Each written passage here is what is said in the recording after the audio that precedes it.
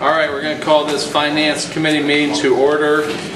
Present are council members Cost, Bub, and Marmee, and sitting in for Frazier is Rath, and sitting in for Blake is Labutus.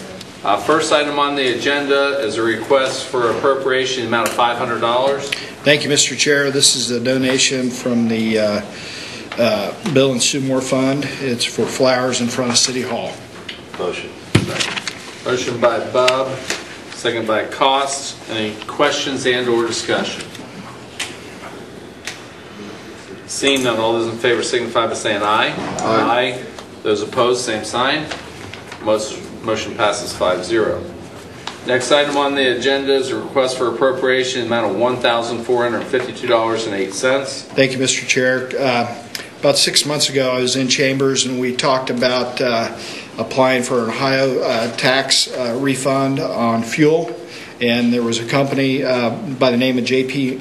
Mueller who led us through that exercise. They showed us how to do it, and our arrangement was whatever they got, we would split with them. The total proceeds was $2,904.16. Our share is $1,452.08. That's a process we now know how to do, and a process we will do on our own from years forward. Motion. Motion by Bub, second by Cost. Any questions and/or discussion? Seeing none, all those in favor signify by saying aye. Aye. Those opposed, same sign. Motion passes 5-0. Thank you, Mr. Chair. Uh, With that, this Finance Committee meeting stands adjourned. Right, we'll call the Service Committee meeting to order. Those present are myself, Rath, Cost, and Bub. Mr. Labuda sitting in for Mr. Blake, and Mr. Marmee sitting in for Mr. Lanning. Up first, we'll consider resolution number 18-43, authorizing and directing the Director of Public Service to negotiate and enter into a contract without competitive bidding for the purchase and installation of new high-efficiency street lighting through U.S. Communities' purchasing program. Mr. Rhodes, you have the floor. Thank you, Mr. Chair. I have uh, representative from Holophane, Mike Blaney, and I have John from Graybar uh, in the council chambers tonight. We're going to give a brief uh, presentation to council. What I'm asking for is the authority to enter into contract with them after the presentation. If you give me that authority, then Mr. Johnson will be back in two weeks to talk about the financing end of of things. But uh, with the mayor's help and with John and Mike, we're going to give you guys a short presentation on what we would like to do with some of our lights on the highway, on-ramp, off-ramp lights, and under uh, the bridge lights. We want to change them from high-sodium lights to LED lights. There is a cost savings over a period of time. There's a savings not only in kilowatts that will be burnt, but there's also a savings in maintenance and repair. But I'm not going to get too far into it because I don't want to steal their thunder. How's that? So John, Mike, you guys want to come up and start the presentation?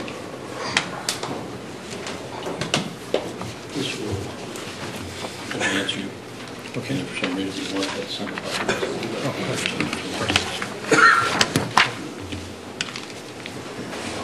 Thank you, Mayor, Council. Again, my name is John Hazelwood. I'm with Graybar Electric.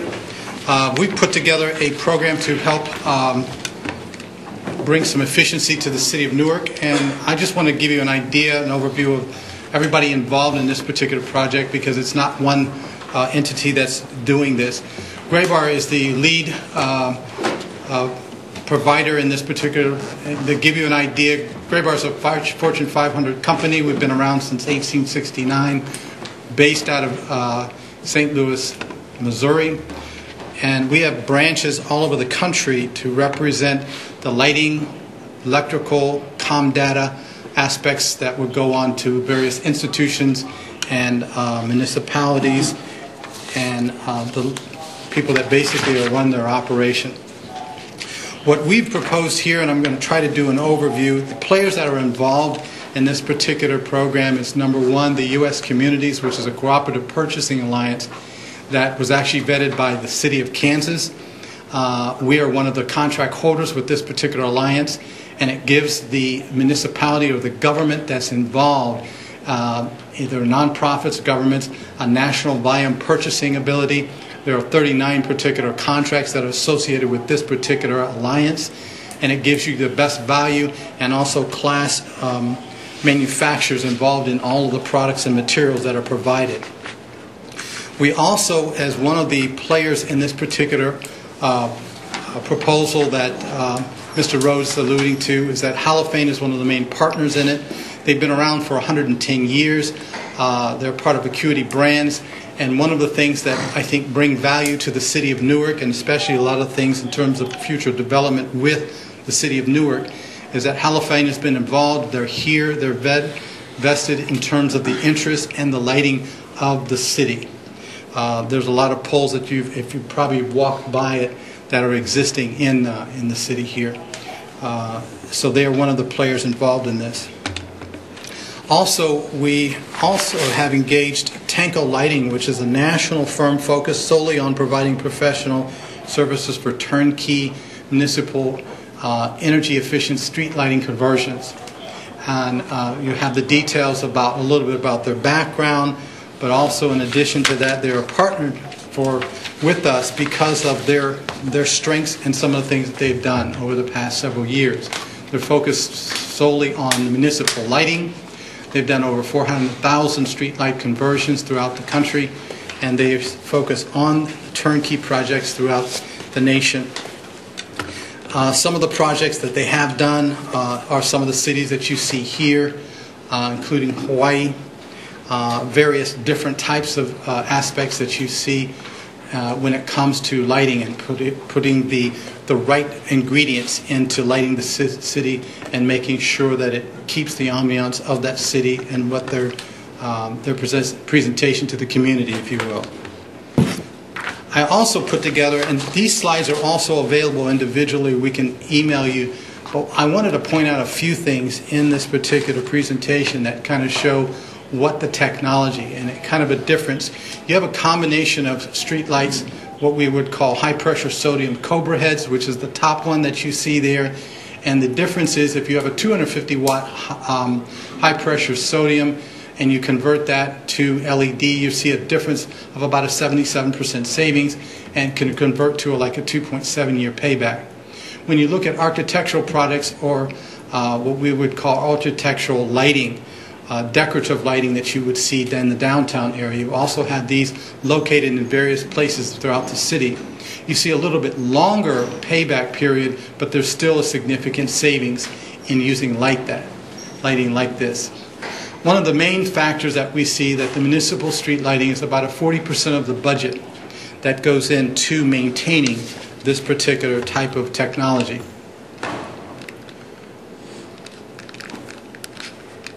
Okay. Here we go. A couple things on this particular slide that I wanted to kind of point out is that the lighting that you've seen that has gone on, your father's lighting, if you will, high pressure sodium being one of them, and not to point on anybody's age, but it's old, it has been around, but even when it, LED was introduced, it is a lot less expensive than today than what it was five years ago. And one of the things that we are also setting up uh, the city of Newark to be able to take advantage is the smart city aspect. And so when we are designing everything that is going on going forward in this particular project, it gives you the ability to be able to have smart controls on each, each one of these heads of the, uh, the LED heads that we've got. And you'll see examples, some of the, of the future things with controls is that you're able to be able to detect whether it's gunshots, uh, be able to kind of manipulate and understand traffic patterns and that type of thing. This is an example of a slide that shows the direct differences in high pressure sodium versus LEDs. It's about a 50% more in cost in maintaining those.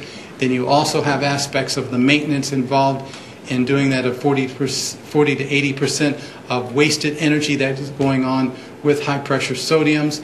Uh, and when you look at LEDs, there's a, there's an array of examples that show in different cities how they've been able to save money producing or bringing LEDs into their street lighting. This slide will also show you a before and after of what uh, kind of a visual of what high-pressure sodium does. It's a long-burning, it's been a- an established technology. It produces that yellow light, it lights it up, but a lot of times you really cannot see what's what in that street. So you see the difference in, after an LED conversion has been done, there's a clarity there. We have a picture that we showed in a particular street parking aspect where the, uh, very much a safety factor. When you're looking at a street, a, car parked in the HPS arena, you could not tell what the car was, the license plates on it. When you put an LED conversion in it, the same picture shows you can actually see the car, the color of the car, and actually read the license plates on it. One of the things that we'll be doing in this particular project, we'll be doing an audit. The audit is going to basically take the existing inventory of all the lights that you've got that is owned by the city. We basically evaluate all of these different points, the distance of the pole, the height of the pole, uh, and also in the process of doing establishing a baseline. But we'll also be able to take this and confirm the ROI, the payback and energy savings to the dollar, and also be able to take that information and apply for an AEP rebate, which will also be going to the city in terms of this project as well. The audit report will go back to the Service Director's Department, so he'll have an overlay on his existing GIS um, uh, software that shows all of the particular data and, and be able to reconcile not, not only what you've got, if there's a, a change of material, poles or whatnot, you have exactly a report that says this, all this information has been audited, so you know exactly what you have. One of the things about the design aspect that uh, we're, you're able to take advantage of is that Holophane, and, and Mike Blaney has been very much uh, involved in this project because Holophane fixtures are already here, uh, so there's a long-standing understanding of what's there. But the, the, the audit process will also confirm a lot of that information if there's been changes over the years, so you have appropriate data. Um, the next slide here is one of the things that we're outfitting the, the heads that are being changed in this particular focus project. We'll also have the ability to take advantage of the ROAM system, which is already a part of the city's uh, uh, network. Uh, the, the system has already been purchased, it's already in existence. This will be able to expand in all the fixtures that are going to be putting in to be able to take advantage of the ROAM system that's already here.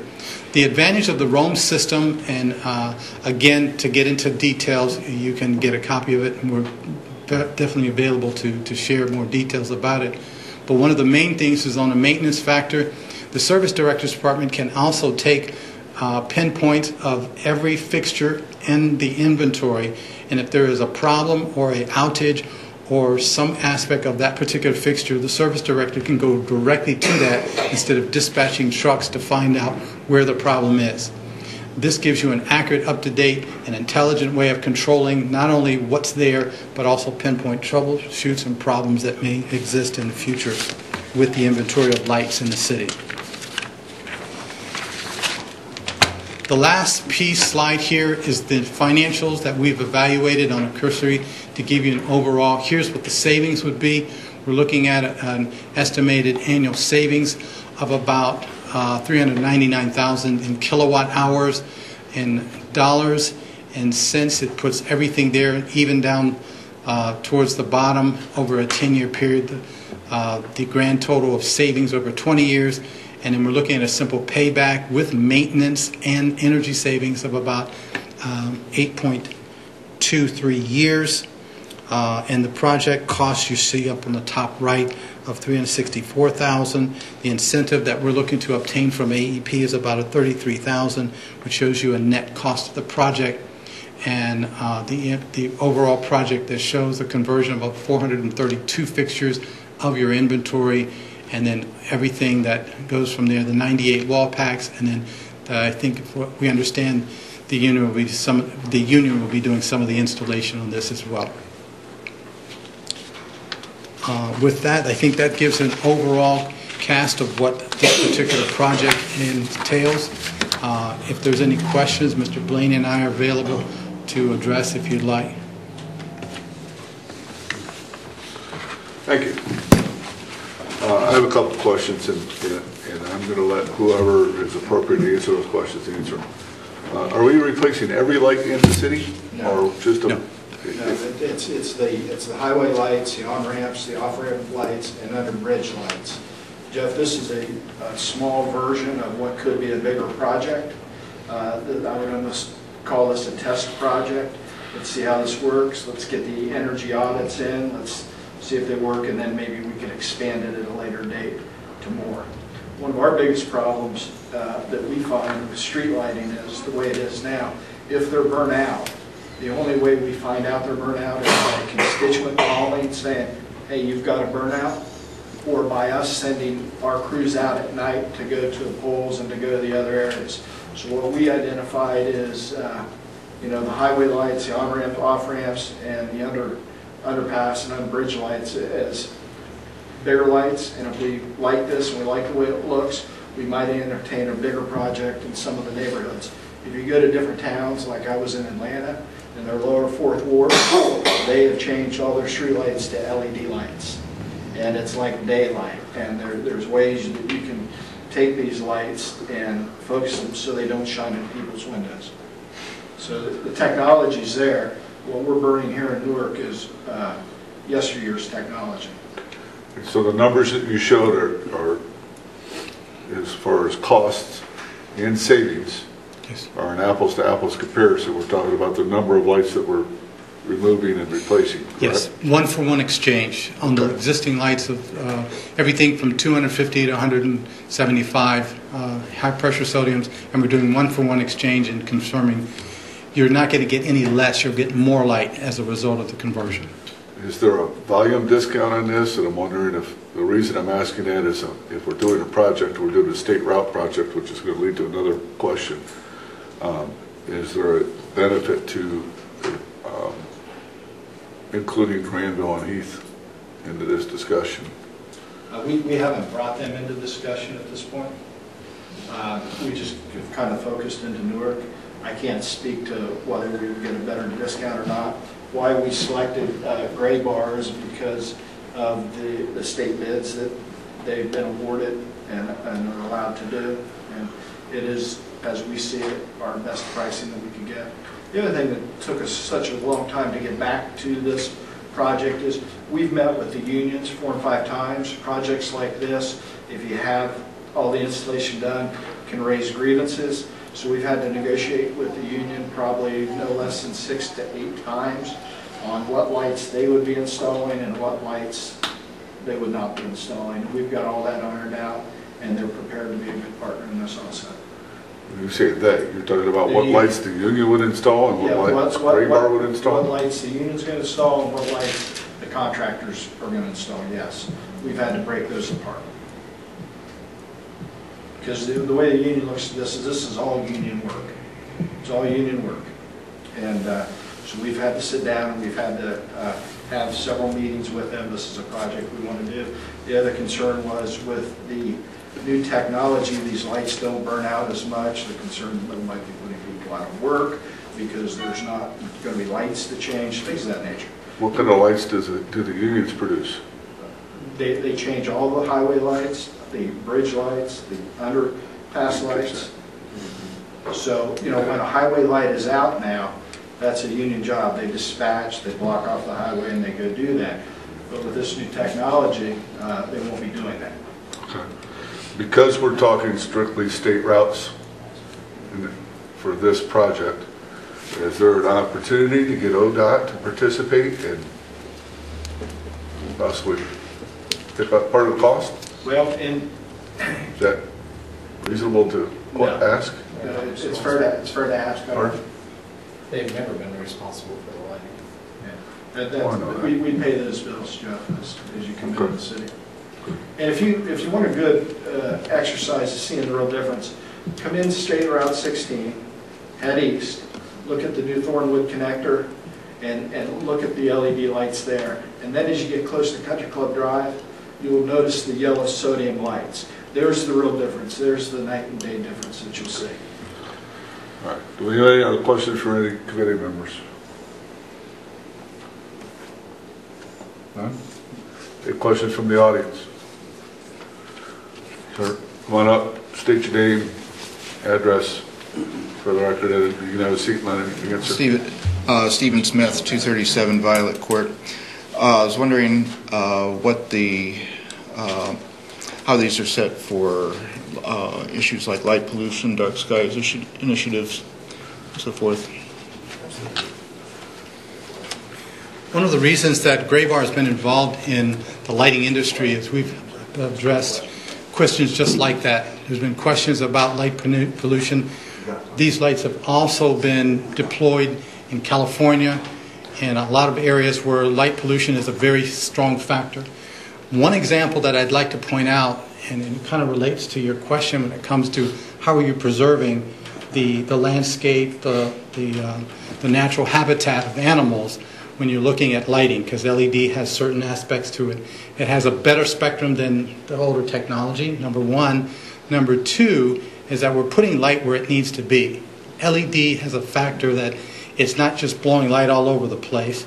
It's a focused light. So you have an LED array that's focused down and spreading. So it's not lighting the trees up and everything else. So it's a very focused light.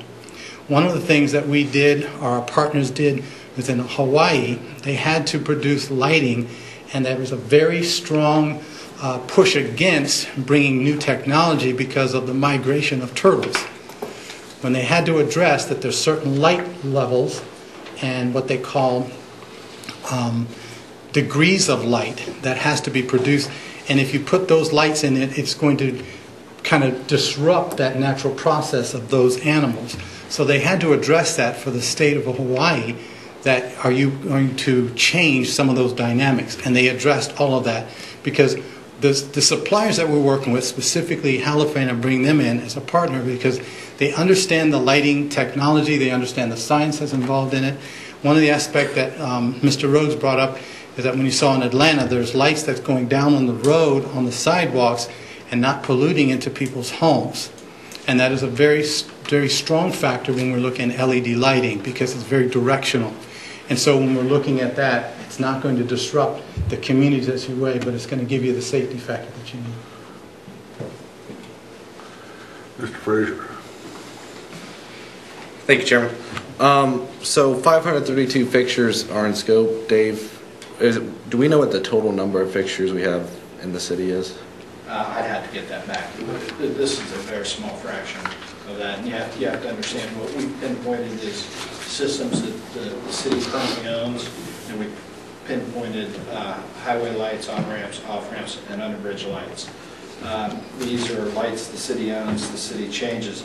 If you get into the neighborhoods where all of us live and you look at those neighborhood lights, the cities don't own those uh, lights. Those are owned by AEP. Gotcha. But you have to understand, when one of those lights burn out, there's no sensors, there's nobody out there looking to turn that light back on. But because it's a monthly bill per light, the city pays whether that light burns or does not burn. So what we do through the traffic department is we dispatch personnel out, uh, probably three to four times a year to go out at night, and they ride different uh, wards of the city. They stop and burn out, they write down the- the number, of the pole, we call it in, and it's really not a cost-effective way to to light the city. And does AEP charge us back for replacing it too? Is that who Uh, ultimately? no, they, they, they replace them, that's part of their service agreement, but they don't go out, they, they don't send. guys out. Proactive. They're not, they're not proactive at all. That, that all changed with energy deregulation. And then this comprehensive GIS audit, does that include the whole city or just, Now, what, it includes what we're currently proposing to do. okay. And, and what it'll do is it'll show a payback on our investment. And then are we going to use that as a foundation for the rest of the Well, our- city? What our, what our hope to do is to use this as a pilot project.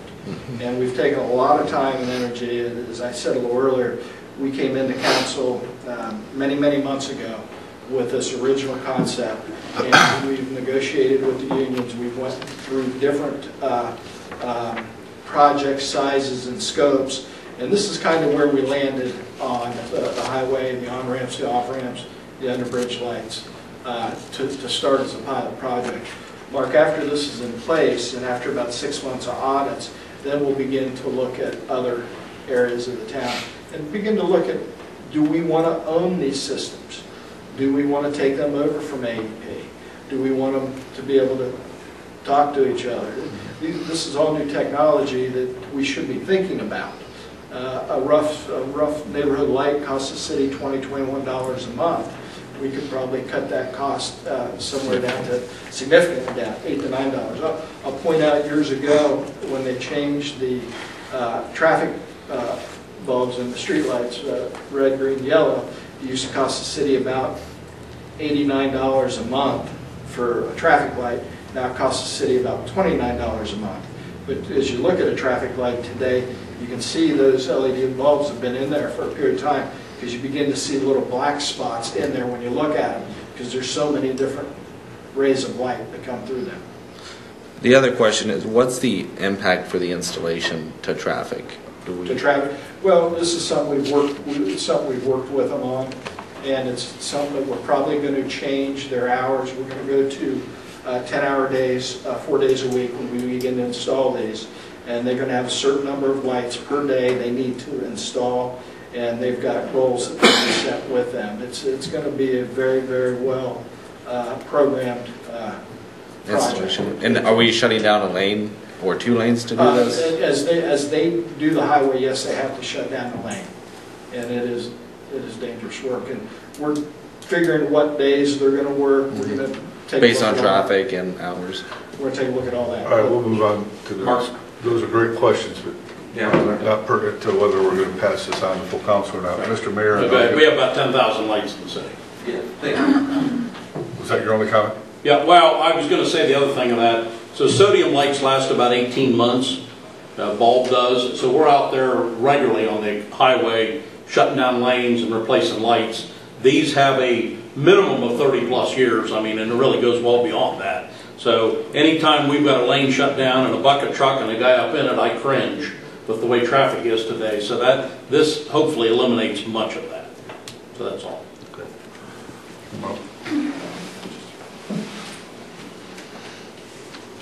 Hi, uh, Rochelle Volin Smith, 237 Violet Court. I was wondering whether these were compatible with um, use of solar collectors to um, save on electrical usage?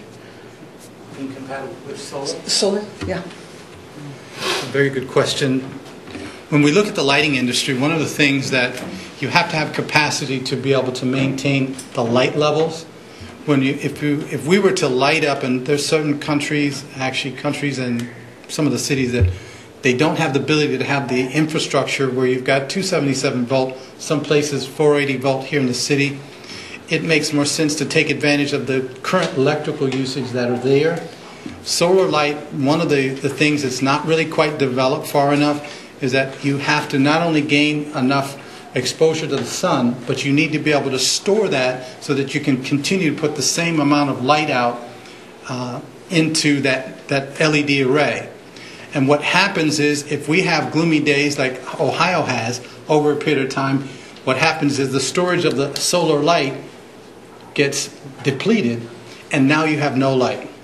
And so solar is also good in certain applications, but not in your main street thoroughfares because of the type of capacity of solar array um, storage and, and capacity for those lights. Okay. Any other questions, questions from the audience?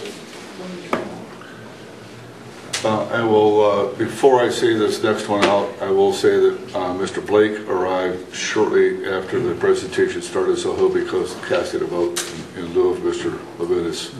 Um, So I will entertain a motion to send this on to full council. Motion by Bub. Seconded by Cost.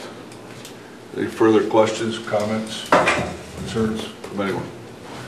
Seeing none, all those in favor of passing this on to council signify by saying aye. Aye. All opposed, same sign. We move on to council with a vote of five to zero. Thank you, guys. Th- Thank you. Appreciate you coming, and appreciate your attention and information.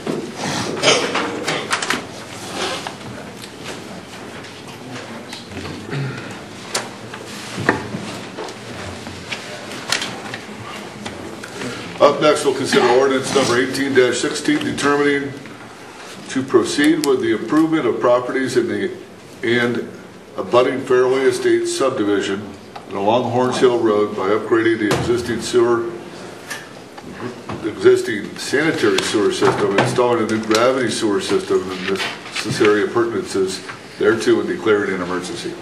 Mr. Moore. Mr. Chairman. Yes, sir. If I may, um, I will abstain from this, voting on this ordinance as I serve as the president of Fairway Estates Homeowners Association. So noted, thank you. Uh, Thank you, Mr. Mayor, for shedding some light on the subject. Mr. Moorhead. Yes, uh, as I was before you a couple of weeks ago, uh, I'm, I'm, uh, I won't say jumping the gun, but uh, pushing the schedule a little bit. Uh, This is the, assuming that the resolution uh, of intent is, is passed uh, later on tonight, um, that's on your docket. Um, This is the next step in the process, uh, is to pass a, a ordinance to proceed with the uh, improvement project for the assessment. And um, what will happen next after the, the resolution is passed tonight, um, we will send notice out to all the, the property owners of the estimated assessment amounts with the, with the construction costs.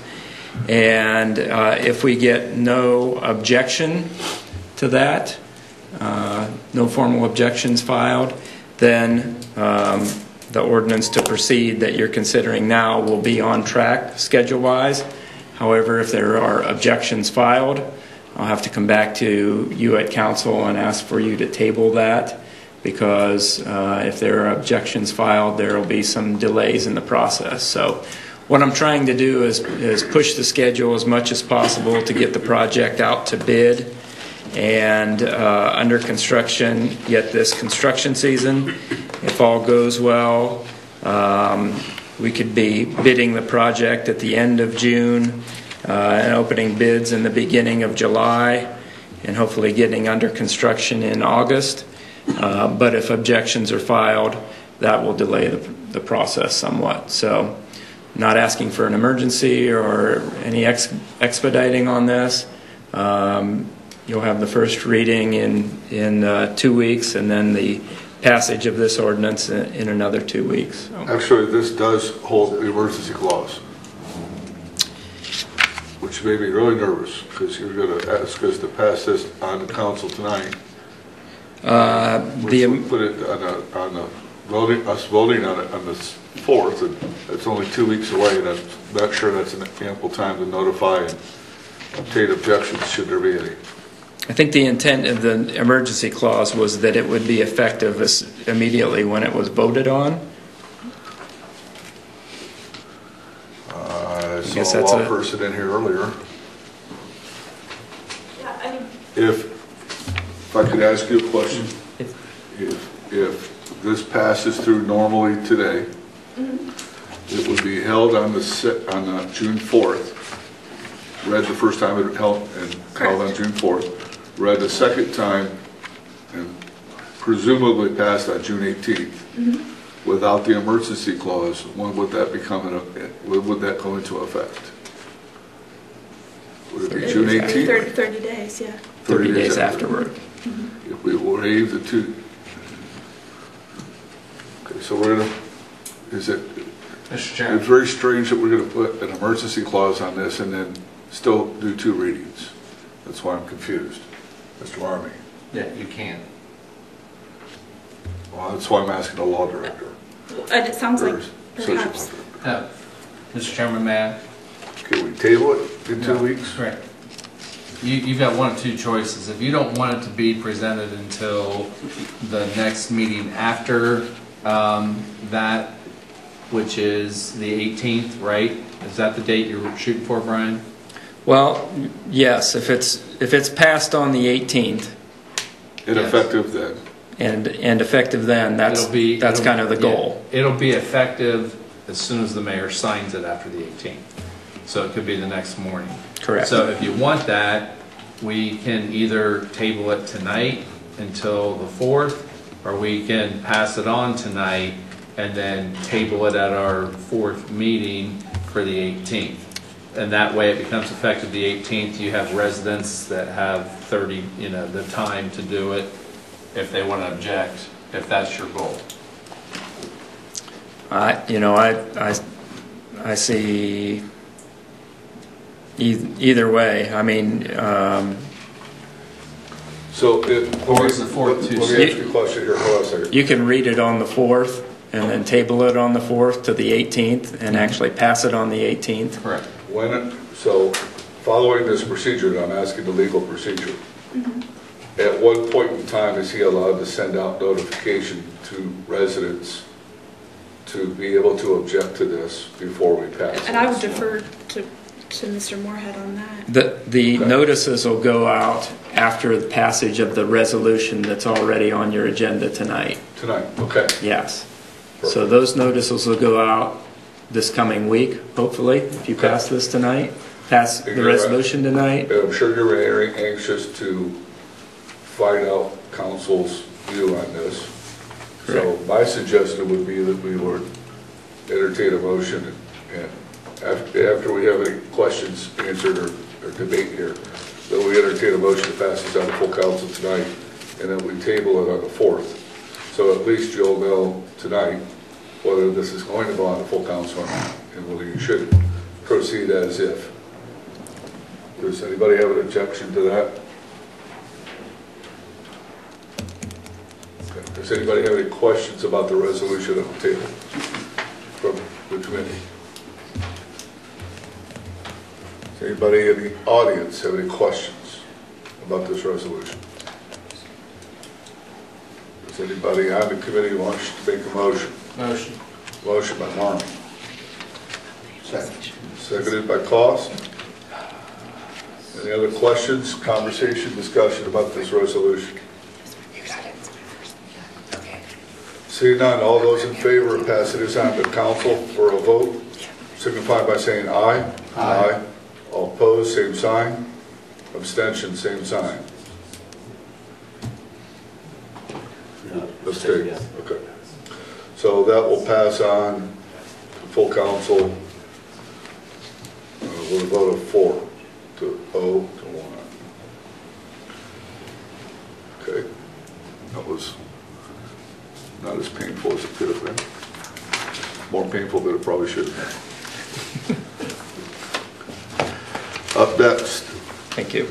uh, consider resolution number 18-46, adopting a statement indicating what services, if any, the city of Newark, Ohio will provide for approximately .576 acres, more or less, located in Newark Township territory, a territory proposed for expedited to annexation and declared an emergency.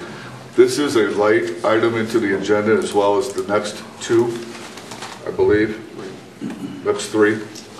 Um, So we will not be voting on this tonight. We will be discussing this tonight, and then we will be passing it on to council. Roll 11 tonight, or roll 11 in two weeks? Two weeks. Roll 11 on the 4th, providing minority and majority leaders agree. Correct. Okay. So, uh, who has anything to say about 18-46? Um, Brian and I, I guess, are here to talk about that one. This is an expedited um, annexation from the county. Uh, Given the time constraints for it, we just got it on Thursday. I just got back in the office today. We realized that um, this has to go to the county by June 5th. Our next council meeting is not till the 4th. Um, So we were just trying to get this on your radar so that hopefully Rule 11 can be invoked on the 4th and we can get it to the county by the 5th. Okay. Any questions on this resolution from committee? Questions from the audience? All right, seeing none, that will be held over until the 4th. Next, uh, consider resolution number 18-47, a resolution regarding a buffer zone for the annexation of approximately .576 acres more or less located in Newark Township and declaring an emergency. That Also, a lead item, also will be held over And if I may, Mr. Chair, these are all related to the same set of circumstances, um, Okay. all, all interrelated, so we would just ask the same procedure for these other pieces of legislation as Okay, well. I'm still going to read them individually, I understand. Of course. I won't make you repeat that every time. appreciate that. Any questions on any of these, on- on this particular resolution? All right, that'll be held over till the 4th. Uh, Ordinance 18-17 consenting to the annexation of certain territory generally described as being approximately .57 acres or less located in Newark Township to the city of Newark, Ohio, declaring an emergency a late item. Any questions or comments about this piece of legislation? Okay, ordinance number 18-18, ordinance objecting to the annexation of certain territory generally described as being .576 acres more or less located in Newark Township to the city of Newark and declare an emergency late item. This will be held over as well. I do know that this is one of those vote for this, not that types of ordinances, so uh, I'm sure Mr. Sassen or or yourself will be just, will be schooling us on that procedure Uh-huh. on the 4th. Any questions on this piece of legislation from anybody? Seeing none, that'll be held over until the 4th, and that concludes the Service Committee meeting, we will stay adjourned. Up next will be Economic Development. All right, we'll call the Economic Development Committee to order. Those present are Frazier, Rath, Cost, Hall, and Lang. Uh, Tonight on the agenda, we have the 2017 Annual Report for Community and Mr. Economic... Chair, Mr. Lang is not present. I said Rath, Cost, Hall, and, oh, who's sitting in? You're the chair, who's sitting in? Mr. Levitas, Mr. Labutus. Mr. Marmie? Anybody out there? Somebody Jeremy call- Blake, would you like to sit in? I'm right here. Oh, Problem solved. Uh, So Mr. Blake will sit in for Mr. Lang. wall here. I just assumed he called your name. But you're already up here. So Director Mater, you have the floor. Just give me a picture. Well, thank you. Um, Appreciate the invite to come and, come before the committee and talk a little bit about what goes on up on the fourth floor with community and economic development. I put a handout together for you, and it is divided up into two sections because we do have a community development portion and an economic development portion. Uh, Ultimately, it's all funded by community development block grant funds. Um, If you weren't aware, community development block grant funds must be used to assist low to moderate income uh, residents in the city. So I'm just going to run down through some highlights for you of what, what we do upstairs with those funds. In 2017, our allocation was about just under $700,000. We expended just about $870,000 in CDBG funds, RLF funds, and reprogram funds during the year 2017. Big part of that 870 went to uh, the cemetery retainer wall and sidewalk and fencing project. That was about 260,000. And then we used some of our what's called the HODAG funds, Housing uh, Development Action Grant, uh, to help Mr. Lehman on 112 West Main Street, the old Newark High School building renovation. We got about $300,000 into that. So those are our two big expenditures for the year in, in that. Um, Next bullet item, we took in about $110,000 in repaid community development block grant funds from our RLF housing loans. That was substantial. We can use those and put those back into service through our emergency repair program. Uh, we took in about 35,006 in repaid home RLF funds. We put those back into use primarily with the Habitat for Humanity New Homes projects. We're very limited to what we can use those home funds for, but it's a perfect match for the Habitat for Humanity program. Um, next, $47,533. Again, that HODAG or Housing Development Action Grant revenue. We're just we're, we're just about in the last year of collections on that. And again, those funds are primarily going to help um, Mr. Lehman in that uh, that uh, rehab program. And the reason we we we picked that project is because these HODAG funds had to be used again, low to moderate income, had to be used for multifamily rental units. So we're again very, very limited, but a very good fit, and made that project uh, feasible for, for, for that to happen in our city.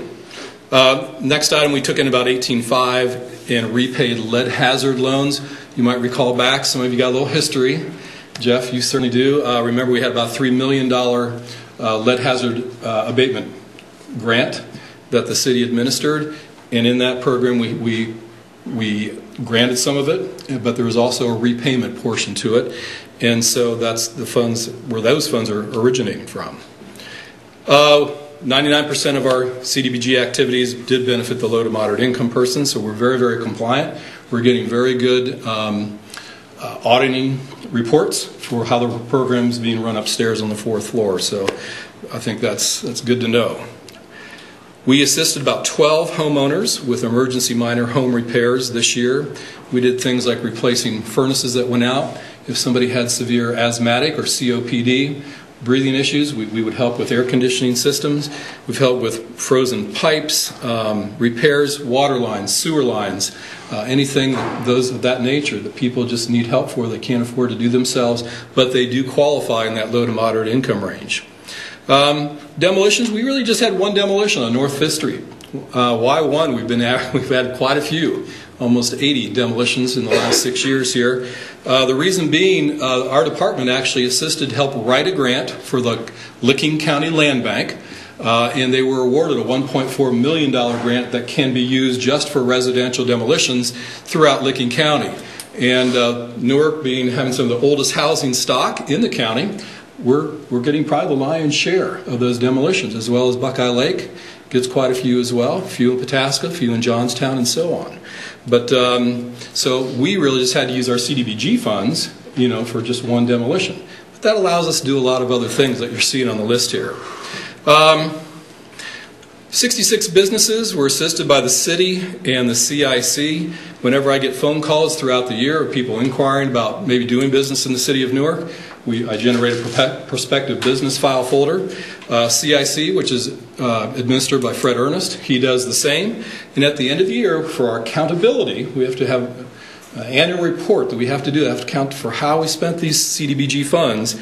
Uh, we, we do an aggregate of what, what we both uh, discussed with potential business owners, and that's the figure you see there.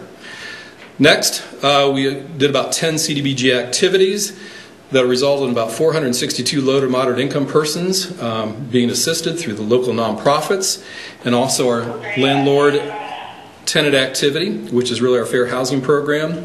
And you can see below there the number of nonprofits that we worked with uh, throughout the year St. Vincent de Paul, Salvation Army, Coalition for Care, New Beginnings, and so on. Um, I'm going to try and move along because we are getting close to our time to make the council meeting here tonight. But um, we also had 11 CDBG subrecipients, which leveraged a total of $817,000. Again, that's us helping to leverage those CDBG funds to all those nonprofits that you see listed above. Um, funded the cemetery, retainer wall, fence, and new sidewalk project. I mentioned that a little earlier. Uh, really a, a, nice project at the gateway to our city.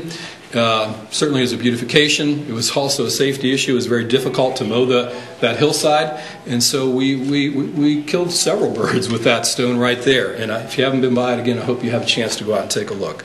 But that was done with CDBG funds. Um, the Fair Housing Program, again, we are responsible for that up on the fourth floor. Um, we had to go through a, an RFP process in 2017 to hire a new um, subcontractor to, to run this for us.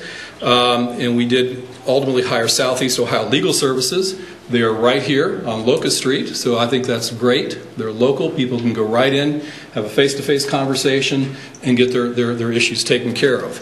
Um, but we did go through that process. We made the decision. We hired Southeast Legal. And then we also created a Fair Housing Review Board, which was one of the requirements through the Fair Housing Program. So we, we established that this year. And number three, we did have a good rating uh, for our audit for fair housing. Uh, by the way, that's the best rating you can get. They don't go up to excellent and so forth. Good is, is, is as good as they're going to hand out to us. So we, we did well there. And the last bullet item, uh, records retention system. We, um, we got a lot of updating and improved our records retention system uh, up, up in the Department of Development, Community Development upstairs this past year. Some other grant awards that took place in 2017, you'll see a listing there, Ohio EPA Diesel Emission Grant, ODNR Grant, uh, Step Outside ODNR Grant, EMS Grant, Bulletproof Vest, which that's something Barbara does a really good job of every year, and don't have to mention the importance of that, and that Kevlar does break down Uh, Our law, our safety director could probably comment on that a little bit more. So it's very important that we continue to get those grants and help our police department. Uh, Licking County Foundation grant um, came in this year, and um, some other ones that you see there, the JAG, Justice Assistance Grant, Public Safety Grants, um, are listed all down there. They total about $400,000. And that's over and above that $695,000 CDBG grant. So uh, we're working hard. That department, if you didn't know, is 100% funded by grants. Myself, Barbara, and Melissa, the three of us that, that administer that department, uh, do not receive any general tax revenue funds to pay our wages and benefits. So not only are we doing a lot of good things to bring money in for the city, but it also helps cover our expenses upstairs as well. Um, some other things that we're continuing on administering are the COPS grant that we brought in previously, a $250,000 grant there. The FEMA Safer grant, which I know, Jeremy, you're very familiar with those, and you, I know you're a big advocate for those grants as well. So continue administering that, about a $417,000 grant, and then a second one for another 470 some odd thousand dollars. So that is the end of my community development portion. Does anybody have any questions on that portion of what we're doing upstairs? We'll move on to the next portion. We don't see. Okay, very good. So the other side of this, uh, the economic development side upstairs. Um, I'm just going to list through a number of the programs that we administer up there. And the first one is called the Community Reinvestment Area, or CRAs. Um, participants or property owners and CRAs uh, apply for these to receive tax abatements. And it's tax abatements on any improvements that they do to their property. So any money they spend on those improvements can be abated back to them. It can be rehab, it can be new construction, and the program is structured to um, tax abate those 12 years for rehabs, 15 years for new construction. And you can see there we did about five applicants in 17. In 2017, we have 154 active properties still on our CRA list. Um, we have five CRAs uh, currently, although CRA number two has been expired, so we're really just administering four at this time. And you can see over the over the conception of the CRA program here in the city of Newark, there's been 558 applications. So it's uh, it's made a big difference in our community. Again, that stimulates investment and growth in the city of Newark. And I'm responsible for overseeing, administering, and we have to do conduct an annual review on the CRAs. The tax incentive finance districts, there are six of those in the city. Uh, those provide tax revenues to finance public infrastructure improvements. And TIFs 1 and 2 are primarily in the Deo Drive West area, as well if you, we also administer uh, North 21st Street properties in that TIF 1 and 2. Uh, TIF area number 3 uh, comprises some properties on Mount Vernon and Deo Drive on the east side. TIF number 4 is the Longaberger Basket property on East Main. TIF number five is River Road on the west end of town. Redwood Development constructed uh, several hundred apartments out there. And um, we're collecting TIF money there to do improvements, future improvements that we know, Jeff, that's your area, that we're going to need to do on River Road. Probably some left turn lanes and other improvements are going to be required as, as that continues to develop and we have more increased traffic on those streets. And TIF number six is our most recent uh, project. That's for the Evans and Baker Boulevard areas. Um, we also kind of call that the Kroger TIF. Um, with Kroger coming in, buying that property that used to be Myers, and all the money that they put into that, we are TIFing that on a 10 year 75% TIF there, again, to do public improvements, which we hope to do the adjoining of the Baker and Evans Boulevard down the road. Next area is the Joint Economic Development Programs, or JEDs as they're called. Uh, these were created by uh, staff in the Economic Development Department a few years back. Uh, basically involves the city collecting and distributing the income tax revenues from these sites that are located out of the city. But the city was recruited basically because of their accounting system to take care of the accounting and the collection of these taxes and then dispersing those. So we administer what's called JEDZ 1. Uh, that's basically the Etna Corporate uh, Park in Etna Township.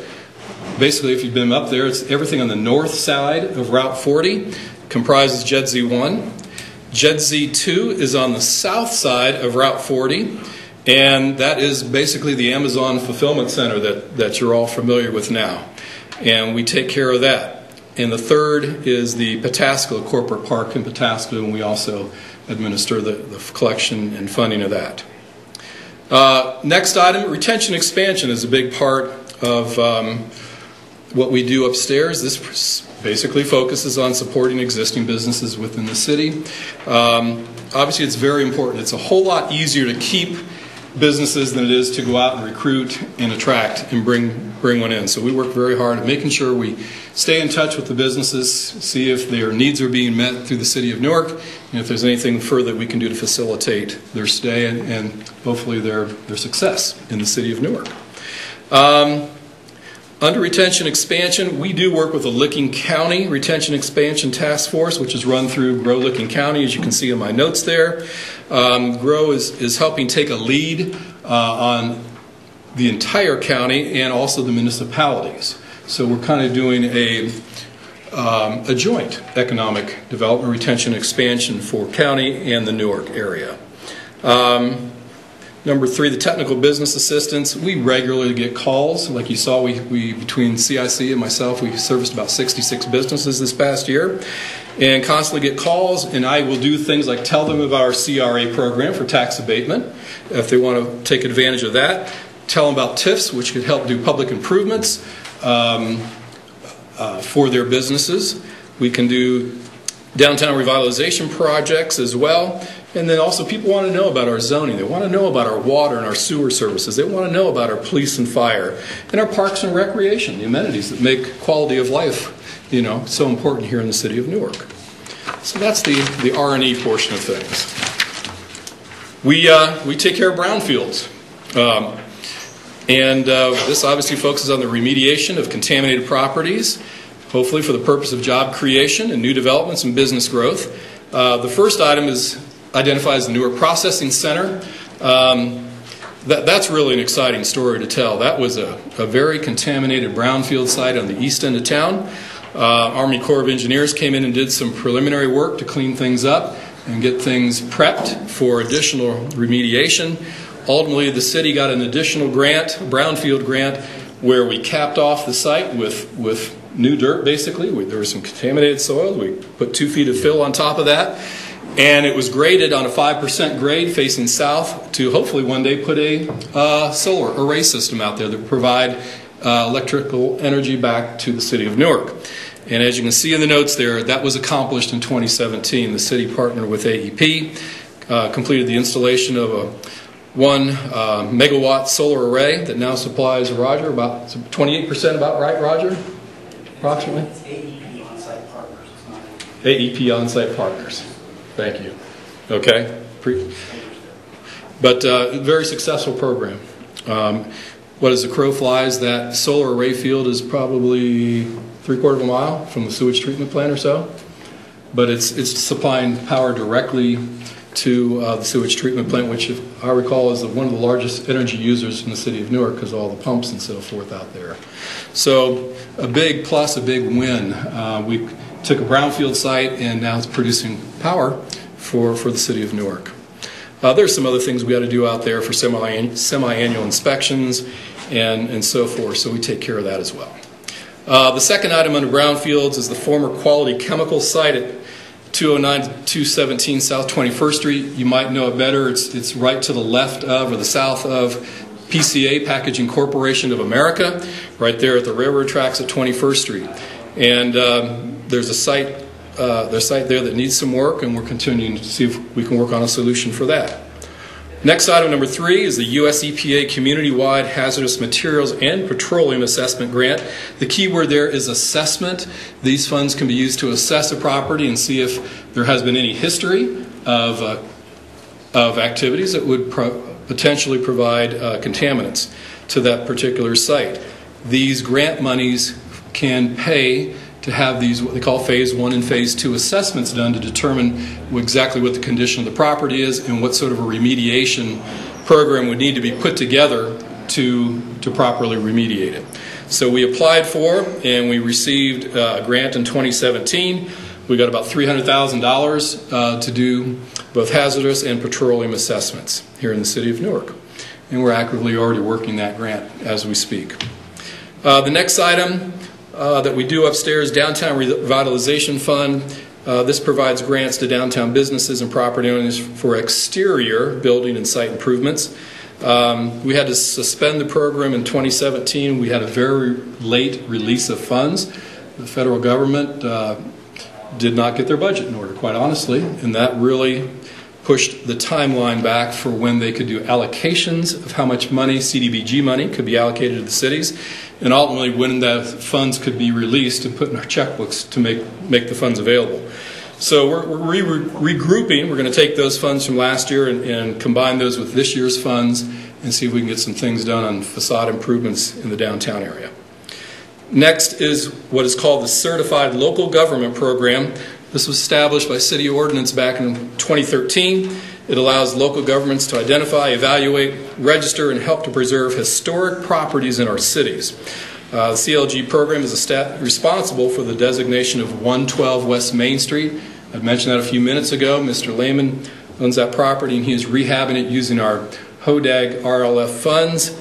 But before it, but he's also using uh, federal and state historic preservation tax credits. But he would not have had access to those state and federal historic preservation tax credits unless the property was designated historical. And believe it or not, it was outside of our historical district. And because it was outside of, we had to come up with a way to make application to have it designated as historical. This certified local government program allows us to do that. I've been told the normal course of action going through the Department of Interior, who administers the historic designations, it can take up to two years to get a property designated as historical. With a certified local government program, we, we accomplish that in about six months. So, more of the speed of doing business than the speed of government sometimes. And that allowed him to continue on his project and get things moving forward there. So, that's what we do with that. And then the last page, there's just some additional projects that we're involved with. Uh, the CIC, Community Improvement Corporation, Newark Development Partners. Uh, I serve on the board there uh, this past year. We did establish a special improvement district for downtown Newark, uh, which is helping already with our parking enforcement here downtown. It's also taking care of trash cleanup, and um, we're, we're seeing some results from that already. So, very proud to be a part of that.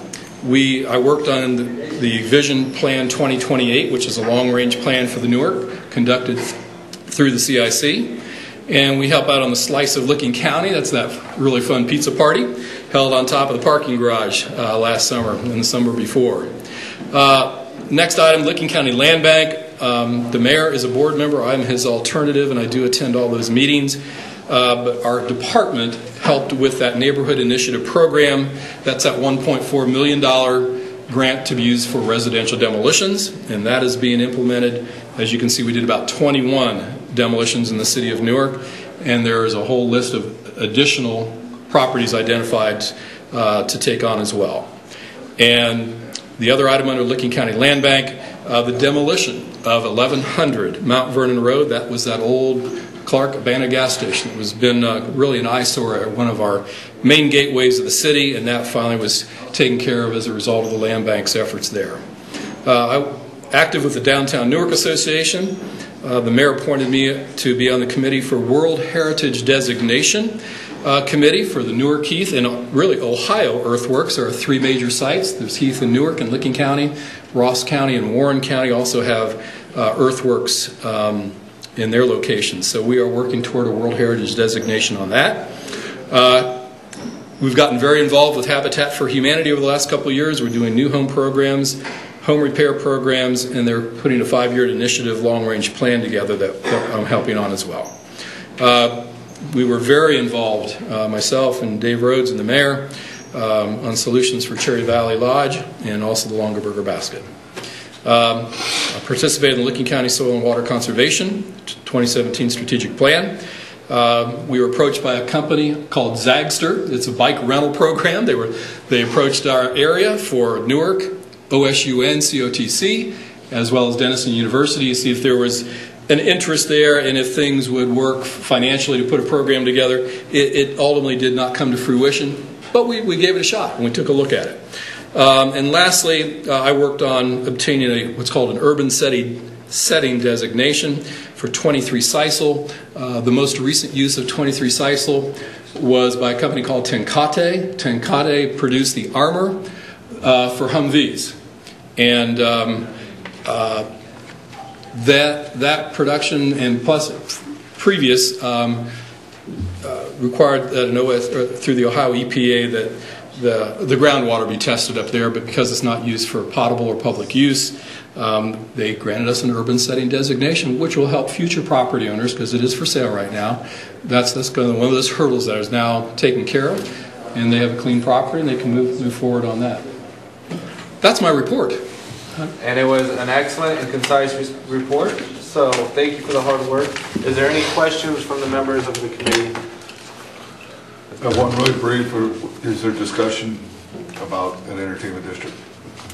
I'm sorry, sorry, what was that, Jeff? Is there current discussion about an entertainment district? Are you talking about the DORA, the outside refreshment area? Yes. Um, There is discussion about that. I know taking on CIC, for example. Okay. Um, I don't have anything more to add. Do you have something to? There's a meeting uh, Wednesday morning that we're talking about that a little bit further. And the uh, CIC um, uh, is going to fund the cost of the consultant to give us advice on the best way to do a door. Any other Yes. questions for the committee? Just, uh, Mark, thanks for coming tonight. I always appreciated your information, working with you on several different committees. Um, Could you, is the p- map for the CRAs, is that in a PDF format, or is that in a way you can email that out? Yes. I've always been curious to get a map of where all the CRAs are, if you wouldn't mind emailing that out. to me. Absolutely, do it all the time. Thank you. Sure thing. Mr. Costa? Mark, this is really impressive. Thank, thank you so much for, for what you do, what you've done. This is You're welcome. amazing. You're welcome. Hopefully, we answered more questions than we created, which it sounds like maybe we did. Any other questions or comments? All right, next up is uh, Capital Improvements Committee. Thank you. We will call the uh, Capital Improvements Committee to order. And The president is myself. Uh, Mr. Cost is in for uh, Jonathan Lang, uh, Mr. Labutus, Mr. Rath, Mr. Fennel. We have one item. Consider resolution number 1845 appropriating monies for the current expenses of the municipal corporate- corporation expedite. Thank you, Madam Chair. What we're looking for is $20,000 out of capital improvements. The split on this dollar is going to go to two projects. Uh, We've been very involved with the renovation of Wells Park, and at Wells Park, we're going to be adding a parking lot there. We've brought up the old lot. We've solved a lot of the water drainage issues there. We've upgraded the park. We've just done an incredible amount of improvements, and one of the last things we're going to do is redo the parking lot there. That will take up $16,000 of these funds I'm requesting. The City of Newark's uh, Street Department will be uh, putting, installing the parking lot. The other $4,000 is I've entered into contract for the old Little Bear parking lot, why they're still looking for uh, a potential new grocer. Uh, The city of Newark is going to open that up for public parking, additional parking in the downtown area. Uh, We've got the lights reworking, but $4,000 to seal it, restripe it, and sign it saying public parking. So that's the split of the $20,000. Wonderful. Um, Are there any questions from the committee? Need a motion?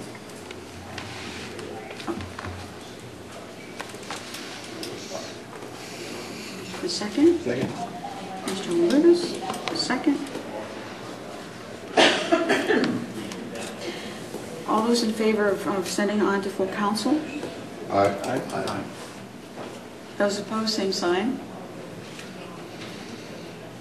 So it's moving on to full council.